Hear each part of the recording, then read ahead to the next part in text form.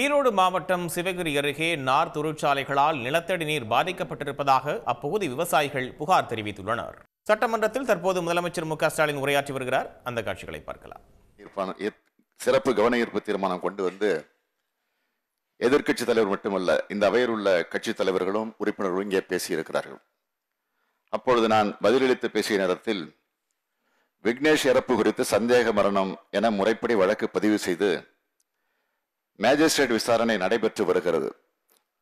விக்னேஷனுடைய உடல் இருபது நாலு ரெண்டாயிரத்தி இருபத்தி ரெண்டு அன்று மேஜிஸ்ட்ரேட் அவர்கள் முன்னிலையில் மருத்துவ குழுவினரால் உடற் கூராய்வு செய்யப்பட்டிருக்கிறது என்றும் இது வீடியோ மூலம் முழுமையாக பதிவு செய்யப்பட்டிருக்கிறது என்றும் பிரேத பரிசோதனை முடிவுற்ற பின்னர் அன்றைய தினமே உறவினரிடத்திலே முறைப்படி விக்னேஷனுடைய உடல் ஒப்படைக்கப்பட்டது என்ற விவரத்தை எல்லாம் நான் அன்றைக்கு தெரிவித்திருந்தேன்.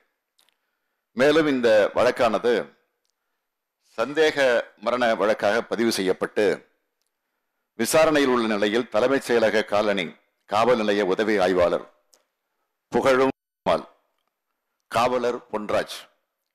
ஊர்காவல் படை காவலர் தீபக் ஆகியோர் தற்கால பணிநீக்கம் செய்யப்பட்டிருக்கிறார்கள்.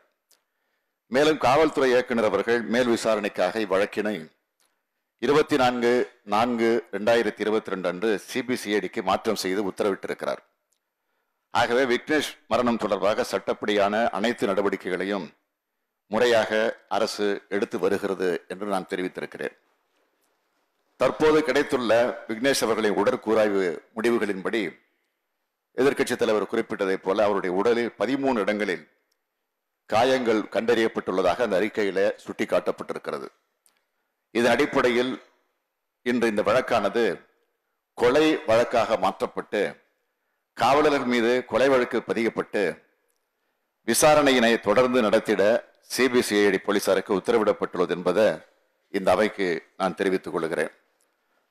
அதேபோல் ஈரோடு மாவட்டம் சென்னிமலை காவல் நிலைய சரகம் உப்பிலியாபுரம் உப்பிலிபாளையம் உடைக்காடு பகுதியில் துரைசாமி மற்றும் அவரது மனைவி ஜெயமணி ஆகியோர் முப்பது நாலு ரெண்டாயிரத்தி இருபத்தி ரெண்டு அன்று அவர்களது தோட்டத்து வீட்டின் வெளிப்பகுதியில் உறங்கிக் கொண்டிருந்திருக்கிறார்கள். அப்போது அடையாளம் தெரியாத நபர்கள் அந்த இருவரையும் தாக்கிவிட்டு அவர்கள் அணிந்திருந்த தங்க நகைகளை திருடி சென்றிருக்கிறார்கள்.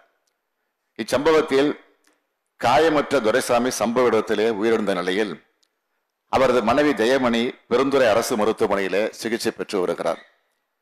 அதே போன்று திருப்பூர் மாவட்டம் காங்கேயம் காவல் நிலைய சரகம் தம்பிரெட்டிப்பாளையத்தில் பழனிசாமி மற்றும் அவரது மனைவி வள்ளியம்மாள் அவர்களுக்கு சொந்தமான ரெட்டிப்பாளையத்தில் உள்ள தோட்டத்து வீட்டில் குடியிருந்து வருகின்றனர்.